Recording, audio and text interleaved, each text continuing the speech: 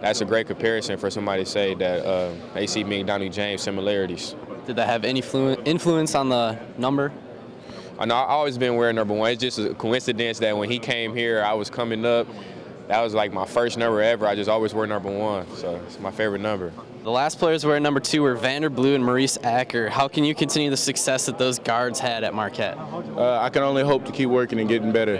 Uh, it's, like I said, it's a great honor to be here wearing the number two. You're wearing 30 this year. Last year was Dylan Flood. Did you have to do anything to get it from him?